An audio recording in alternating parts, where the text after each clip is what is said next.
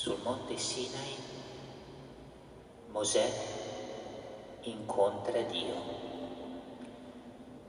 E in questo incontro Dio si fa conoscere da Mosè e si fa conoscere rivelando il suo nome. In realtà il nome che Dio presenta a Mosè è duplice, perché anzitutto egli si definisce come colui che è, io sono colui che sono, sottolineando che Dio è tutto, che Dio è l'onnipotente, che Dio è grandezza, che Dio è infinito, che Dio sostiene la storia, il mondo, la vita di tutti noi. Io sono colui che sono. Ma poi rivela il proprio nome sotto un altro punto di vista, come il Dio di Abramo, di Isacco, di Giacobbe.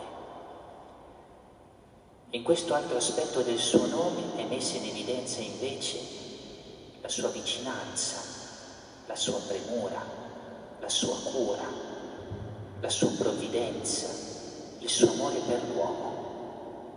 Quel Dio che è e che ha onnipotenza infinita è lo stesso Dio che entra in una relazione di amore, di prossimità, di cura nei confronti di ciascuno di noi.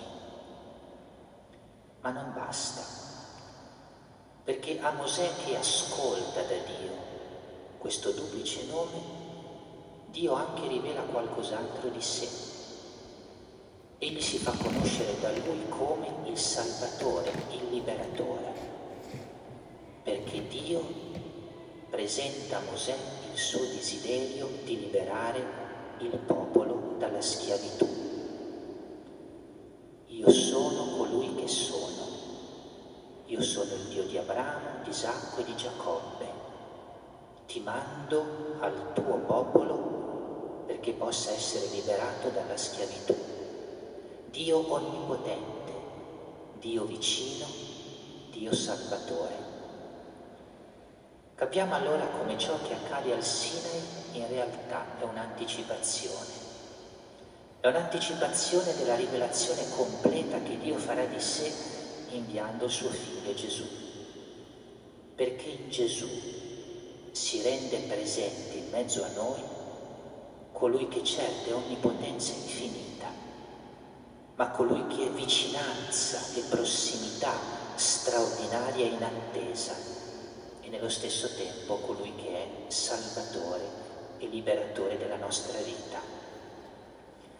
Oggi allora ascoltando questa pagina dell'Esodo siamo chiamati a rivolgere il nostro sguardo al Signore, contemplando nel volto e rallegrandoci, gioendo, perché Dio è onnipotente, ma Dio è vicino. Dio è onnipotente, ma è nostro Salvatore. Dio è onnipotente, ma ci ama.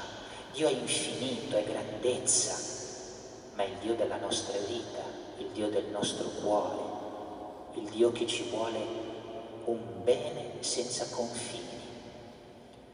Ed è ciò che sperimentiamo ogni qualvolta partecipiamo alla messa e che sperimentiamo anche questa sera, soprattutto nel momento in cui riceveremo il corpo e il sangue del Signore perché in quel corpo e in quel sangue c'è Dio onnipotente, in quel corpo e in quel sangue c'è Dio vicino e amorevole, in quel corpo e in quel sangue c'è Dio salvatore della nostra vita. Allora volgiamo lo sguardo al volto di Dio, ricordandone il nome, ma volgiamo lo sguardo a quel volto che nell'Eucaristia si rivela in pienezza. E stiamo nella gioia, stiamo nella gratitudine, stiamo nell'esultanza. E diciamolo al Signore, grazie perché ci hai rivelato il tuo nome, grazie perché rivelandoci il tuo nome ci hai ricordato che tu sei il creatore onnipotente, sei colui che ci ama appassionatamente sei colui che desidera salvare la nostra vita e darci la pienezza del cuore.